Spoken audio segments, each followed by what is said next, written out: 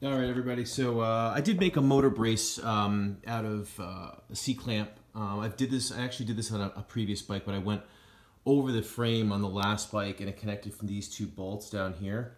On this bike, um, because it's a little different configuration, I actually used one of the uh, the mounts that's left here, and I basically took a hose clamp, cut it in half, drilled a hole through it on both sides, and then basically affixed it. And once you once you affix it, now you can actually tighten, you can actually tighten this now to hold the motor up just in case things come loose. And it actually will, uh, it's, it, on, the, on the last bike it worked great because it, the motor actually never ever loosened up ever again. And, and you basically just retighten the hose clamp if you need to. But because of the pressure that's on it it won't it won't really come loose. So uh, just a quick way I'm actually going to paint it black and then uh, you probably won't even see it. Uh, and it's just a good way to uh, hold the frame, you know, the motor up to the up to the frame, uh, and uh, we'll give that a shot. All right, thanks, guys.